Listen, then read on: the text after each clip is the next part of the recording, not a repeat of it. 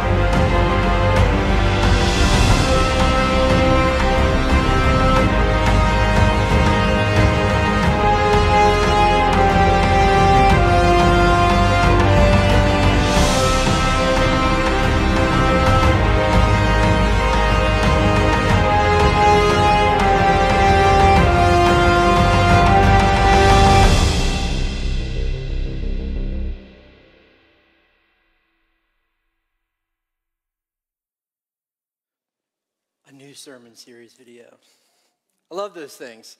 Any baseball fans in here? Feels like walk up music or something. we are in a new sermon series called Why Not Church? Why not church? What do we mean by why not church? Well, Jesus has risen from the dead and the tomb is empty, so why not go and declare the good news of the Lord to the masses? struck me this week. You know, we, we have found and discovered a, a lot of things. We found the. Siri? Um, she, she's listening to the, ser- the sermon today, apparently. We, we, we've discovered a lot of things. We, we, we found the, the Pyramid of Giza. We, we've discovered where the Titanic has wrecked. We, we even have been to the moon. We, we've discovered a lot of things. And we've spent millions and millions of dollars trying to find evidence of Jesus on earth, right? Try to find his body. That, that would be the quickest way to put an end to Christianity, to just say, nope, here's his body. Um, he didn't raise from the dead. But we haven't found him, and I don't, I don't believe we will. Allow me to make a prediction this morning that I don't believe we're going to find the body of Jesus because he has risen. So why not tell the world, church? This Sunday, we're going to be in John chapter 20, verses 24 through 29. This is the story of Thomas. Verse 24 One of the 12 disciples, Thomas, nicknamed the twin, was not with the others when Jesus came. So they told him, We have seen the Lord. But Thomas replied, I won't believe it unless I see the nail wounds in his hands. Put my fingers into them and place my hand into the wound in his side. Eight days later, the disciples were together again, and this time Thomas was with them. The doors were locked, but suddenly, as before, Jesus was standing among them. Peace be with you, he said. Then he said to Thomas, Thomas, put your finger here and look at my hands. Put your hand into the wound in my side. Don't be faithless any longer. Believe. My Lord and my God, Thomas exclaimed. Then Jesus told him, You believe because you have seen me. But blessed are those who believe without seeing me. This is the word of God for us, the people of God. Thanks be to God. Well, if you grew up in church or, grew, or you, you run around in Christian circles, you, have often heard this story. And when you hear this story, we have um, a description for Thomas. but We call him Doubting Thomas. Um, however, I, I, did not um, hear the story for the first time that way. And I remember hearing this story, and a, and a different thing came to mind. What came to mind was a story of when I was in third grade. You see, third grade was a big deal. back in whatever year that was. Third grade was a big deal. It was the first year that we took SOLs in all of our classes. It was, it was the year in which you were no longer the little kids, you were now one of the big kids. And third grade was also a, a big deal because third grade is when show and tell happened. We got to have show and tell day in third grade. And Miss McKee, my teacher, she was strict, but you learned. It was her last time teaching the third grade before she would retire. And so we wanted to send her out with a bang. And so I'll never forget um, show and tell day was, was a big deal. It was a huge deal. And I, will never forget what I brought to show and tell. I was um, in third grade, I was really into collecting football cards. And I would had this huge binder. And so I got up for show and tell. And we were in an auditorium kind of like this because we, we, would, we didn't do show and tell in our classroom, we did it in the auditorium. And we were in this auditorium, and parents were invited. And I got up and I started talking about my football cards. And so after an hour and a half of talking about every Green Bay Packer player that's ever played for the Packers, my turn was over. And I'll never forget, my, my friend Robert, he went next. And Robert, um, I'd been asking him all day, what, what, you, what did you bring for show and tell? What did you bring for show and tell? And Robert wouldn't tell me. And so he gets up on the stage, and he's got his backpack on. Rob, Robert takes his backpack off and he unzips his backpack, and I kid you not, out jumps a live ferret. and um, Miss McKee, she, um, great teacher, but she was not the, the best candidate to chase this ferret down. And um, us as third grade students, we were cheering this ferret on. Let's go. It was the most exciting day of third grade. I'll never forget it. Reason why that, that story of show and tell came to my mind is as I was reading this story, when I first heard it, I thought Jesus was having show and tell with Thomas and his disciples. See, just last Sunday, and in our text just before this, Jesus has he's died on Friday and he's been raised to life on Sunday. And the, the other disciples, they, they, see that the tomb is empty. And they're trying to tell Thomas, Thomas, G- Jesus has risen. Jesus has risen. And like many of us, Thomas goes, I, I will not believe it unless I see it. You ever heard someone say that? I will not believe it unless I see it. So this is what Thomas says. And so they're in an upper room and Jesus appears to them. So suddenly, Jesus was standing amongst them as he was before. But he wasn't as he totally was before because he had, was bearing the wounds still of the cross. And so Thomas, there full of doubt, Jesus appears and he tells Thomas, Come to me. Bring those doubts to me. Let me settle your heart. But while Jesus gives Thomas what he wants, he doesn't exactly do it the way Thomas would like.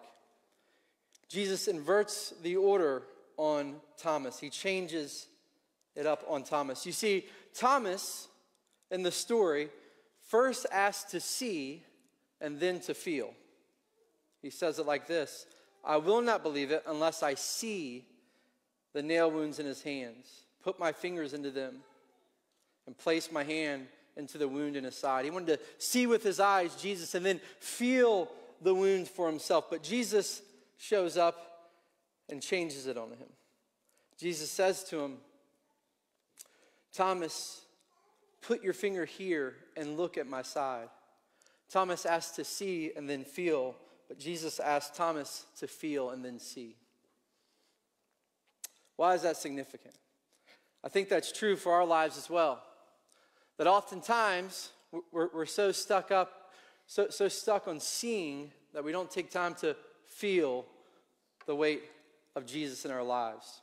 It's easy for me to point out and see how God is working in other people's lives, how God is working in other people's marriages, or God's working in the lives of other people's kids. They look so neat and put together. But yet, at the same time, while I can see that in other people's lives, I can also feel nothing for myself. We can see without feeling. But I believe that if we're able to do what Jesus tasked Thomas with, which is to feel, then we'll catch a vision and be able to see what God's grace and everyone else's life looks like around us. If we're able to feel Jesus in our own heart, we'll be able to see it all around us. He gives us a new spiritual lens that we might see the world differently through. So there's two, there's two lessons here. One of the things I love about Jesus is he includes everybody in the room. Obviously, the first lesson being for Thomas. That Thomas, I, I, I know that despite having seen me do all the miracles and despite the fact that I've risen from the grave, you still have doubts. And praise God that God, in our doubt, in Thomas's doubt, is not frustrated. He's not annoyed with Thomas. Though he'd given Thomas plenty of evidence that he truly was the Son of God, Thomas still doubted, but Jesus entreats Thomas.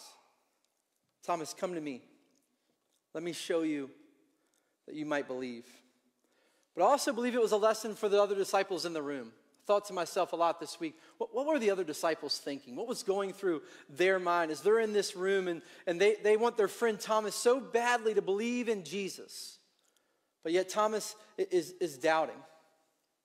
I wonder if when Jesus showed up, the other disciples stood back and were like, We, we believe. It's, it's Thomas with the issue. Thomas is the one, Jesus, that, that doesn't believe. Or I wonder if it was excitement in their hearts that, that they wanted Thomas to believe so badly. And now this was the opportunity in which Thomas would have his doubts settled. I don't know what was going through their minds, but I do believe Jesus was teaching a, a lesson to his other disciples in the room that day. You see, Jesus knew that the world would struggle with doubt. Doubt is our story from the beginning of the book to the end of the book, right? Think about it. In the garden, Adam and Eve, everything's perfect. Everything they need is, is there. And, and Adam and Eve begin to doubt God's goodness for them, begin to doubt the plan God has for them. And so they turn and they decide to eat of the forbidden fruit.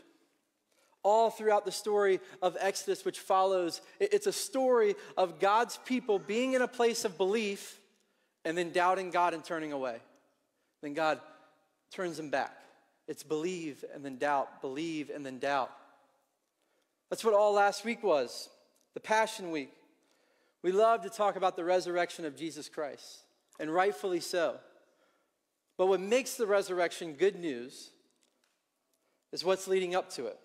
A week full of the disciples who had a privilege that you and I did not have the privilege to live with Jesus the, the privilege to be able to see him tear the, the loaves of bread and the fish and to bless thousands of people, to heal leprosy, to perform these miracles. They, they saw it with their own eyes. And yet, when the time had come, they were overcome with doubt. I relate a lot to Peter. Peter in the Bible, he's the, the courageous one, the go getter that Jesus, I, am if you die, I shall die with you. I will die for the cause. And Jesus looks back at him and says, Before the rooster crows in the morning, you'll deny me three times.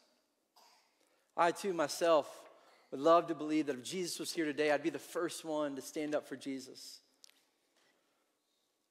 But I believe I'd be like Thomas, with doubt, denying Jesus. Think about Judas, one of his disciples, who betrays him with a kiss for silver. And then the crowds that chant, Crucify him, crucify him, the same crowds that have been following him around, seeing what he had been doing, or chanting, Crucify him. And then he dies and he raises from the dead. And not just eight days later, one of the disciples are here now. Though Jesus had told them, Hey, this is what's coming, I'm going to die and I'm going to raise on the third day. Just eight days later, one of his disciples are now doubting him again. Our story is a story of doubt. It was in the Bible, and I believe it's true for us today that we're going to find ourselves in seasons where believing feels like breathing. And then we're going to find ourselves in seasons where doubt floods our hearts. It blocks our mind, covers our eyes from being able to see the goodness of God in our lives. It's belief and doubt, belief and doubt. That's why the cross is good news that despite us, despite the fact that we would doubt, Jesus still went to the cross. Jesus rose from the dead, thus making our salvation not a last weekend thing. Our salvation is not an Easter event, it's not a past event, but it's a present and future event as well. That all throughout our lives, we're, we're on this journey of constantly God saving us from our doubts, our unbeliefs, from our sins. That's good news this morning. So I ask the church this question today How can the church become a place where we listen, we offer ourselves, and we help others overcome so that all might believe? It's a hefty, hefty task if you try to answer that question. How are we to be a people that live in the world in such a way that we might show and tell Jesus to people and they would believe? We can easily begin to slip into th- this is a burden that's on us, but it's never been about us. Rather, we get to stand as inadequate people, people that also are wrestling with doubt and questioning who the Lord is at times. And we get to say to the individual, our neighbor, Have you heard about Jesus? To which, if your story goes much like mine, they often reply, Well, I, I don't really go to church because I don't necessarily know if I believe. And we get to respond, If you struggle with doubt, this place is for you. There's room for doubt in this room. There was room for doubt in that upper room for Thomas. There's room today in the church for those who are struggling with doubt and unbelief. So we share Jesus with others. But as I was reading this this week, it, it went a lot like how it goes for me when I try to share Jesus with others. Listen to this. Tell me this doesn't sound like something you may have heard if you've shared the good news of Jesus with somebody. It says, One of the 12 disciples, Thomas, was not with the others when Jesus came. So Jesus has come to the other disciples. Thomas is not there. And so they want to go and tell Thomas the good news of Jesus, right? That, that's many of our stories in this room that God has showed up in our lives and now we want to share it with other people. They told him, We have seen the Lord. But Thomas replied, I won't believe it unless I see the nail wounds in his hands and put my fingers into them and place my hand into the wound in his side. Does that not sound like, hey, you, should come to church? Well, no, no, no, no. I, I don't know if I believe, right? It reads just as our story often goes today. But the good news is this is that in our hypocrisy, in our doubt, he loves us. I wrote it in my notes like this As persistent as we are in our doubt, he is even more persistent in his love. The Bible says that where sin increased, grace increased all the more. So, what's our story?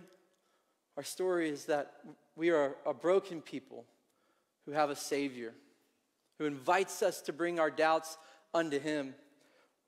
We may leave Easter last weekend filled up, full of hope, and you got to Monday, and Monday crashed your faith. There's good news. Jesus knew that would happen. Jesus is still pursuing you, He's persistent in your doubt. And what an invitation to extend to the world that, hey, it's not that we have it all together. It's not that we're, we, we may look neat on the inside, but the broken is on the inside. We're broken. And our Savior loves us and pursues us. So, if you allow me for just a second to be childish, at Easter, God gave you and I something that is worth having show and tell with the world. I'll say it again. At Easter, God gave us something that is worth having show and tell with the world. But maybe before we start with the world, we should start with our neighbor. It's worth showing and telling. I love this idea of showing and telling. This idea that sometimes our actions speak so loud that they can't hear the words that are coming out of our mouths. That we live in a world with, by the way in which we live, the circles in which we travel in, we show the mercy of Jesus by how we live.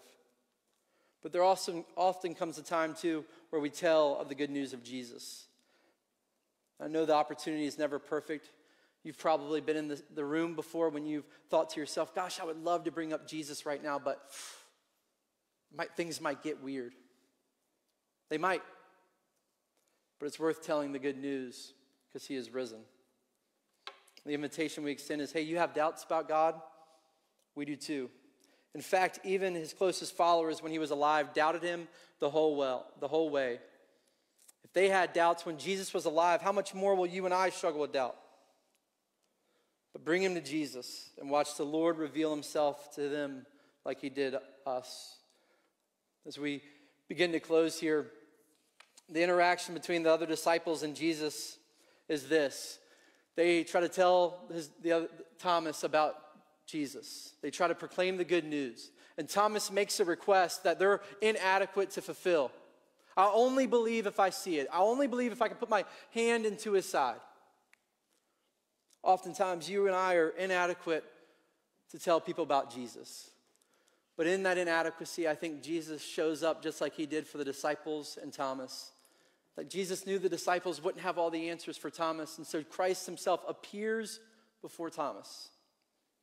Gosh, if we're just willing to, to say, hey, we, we don't have all the answers, but we, we want to tell you about this guy, Jesus, I believe the Lord will intercede on our behalf and make Jesus known to the hearts of those that we bring to him.